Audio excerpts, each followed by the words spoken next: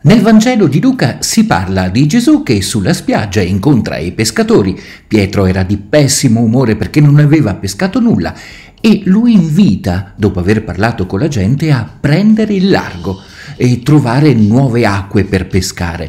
Prendere il largo è l'invito ad affrontare il mare aperto, è l'invito a guardare un po' più in là di quello che vediamo adesso. È l'invito anche a non, a non accontentarci di ogni cosa. Prendere il largo significa mettersi in gioco, avere il coraggio di affrontare anche nuove sfide.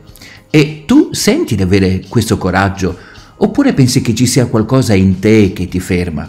E se pensi a qualcuno che ha avuto coraggio di prendere il largo, in questo momento a chi pensi?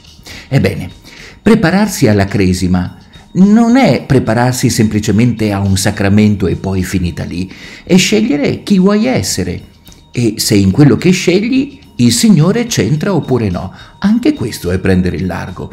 Ma gli altri non vogliono, ma tu hai provato a prendere il largo, perché il sacramento della Cresima, come tutti i sacramenti, ti offre un dono che diventa tuo, ma solo se tu lo fai tuo, solo se fai grandi scelte.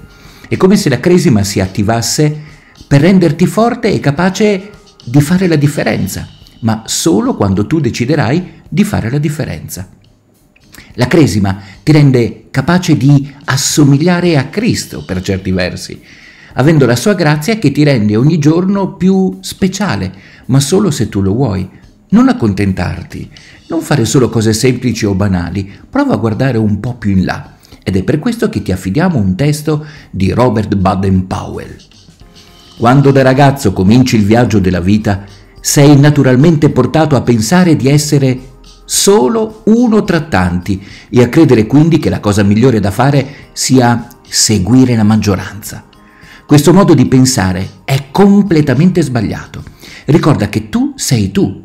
Sei tu che devi vivere la tua vita e se vuoi riuscire a raggiungere la felicità devi essere tu a guadagnartela.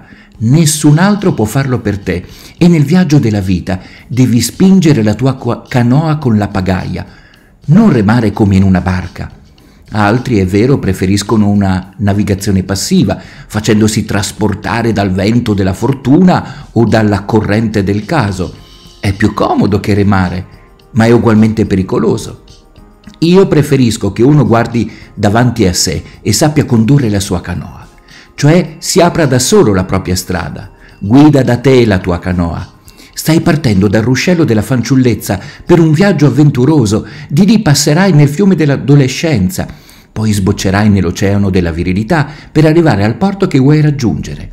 Sulla tua rotta incontrerai difficoltà e pericoli, banchi di nebbia e tempeste, ma senza avventure. La vita sarebbe terribilmente monotona se saprai manovrare con attenzione, navigando con fedeltà e allegra tenacia.